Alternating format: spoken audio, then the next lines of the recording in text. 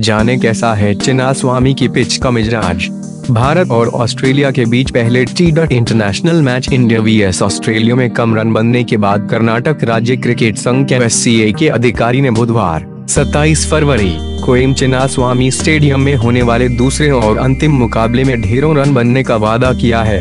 Chinnaswamy stadium की pitch पिछले कुछ वर्षों में धीमी हुई है, लेकिन पहले मैच के विपरीत यहाँ बड़ा स्कोर बनने की उम्मीद है। विशाखापत्तनम में पहले टी डट में ऑस्ट्रेलिया ने मैच की अंतिम गेंद पर एक सौ सताइस रन का लक्ष्य हासिल किया था। के सी ए के अधिकारी ने कहा, इस पिच पर शायद आईपीएल मैच जितने रन नहीं बने, लेकिन इस पर काफ़ी रन बनेंगे। हम ऐसे विकेट का इस्तेमाल कर रहे हैं जिसका उपयोग दो महीने से अधिक समय से नहीं हुआ है। इसका इस्तेमाल पिछली बार विजय हजारे ट्रॉफी के दौरान हुआ था। साल के समय उसके भी कोई भूमिका निभाने की उम्मीद नहीं है। अधिकारी ने कहा, इस सतह पर लगभग एक सौ अस्सी का स्कोर प्रतिस्पर्धी होना चाहिए। यहाँ पर पिछले टी इंटरनेशनल मैच फरवरी 2017 में खेला गया था, जिसमें भारत ने छह विकेट पर 202 रन बनाने के बाद इंग्लैंड को 75 रन से हराया था।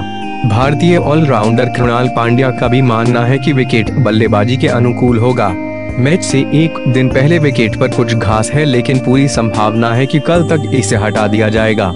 कृणाल ने कहा, मैंने अब तक विकेट नहीं देखा है, लेकिन इसके विजय की तुलना में बल्लेबाजी के अधिक अनुकूल होने की उम्मीद है। ऑस्ट्रेलिया के तेज गेंदबाज पैट कमिंस का हालाँकि मानना है कि पिछले कुछ वर्षों में पिच की प्रकृति में काफ़ी बदलाव आया है। उन्होंने कहा, पिछले कुछ वर्षों में यह अजीब विकेट रहा है।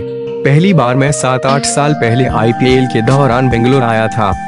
पिछले कुछ वर्षों में विकेट धीमा हुआ है। पैट कमिंस ने कहा, विजा कम स्कोर वाला लेकिन बेहतरीन मैच था।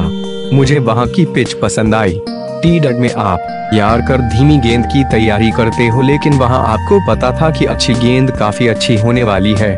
गेंद अंत में कुछ स्विंग होती लग रही थी।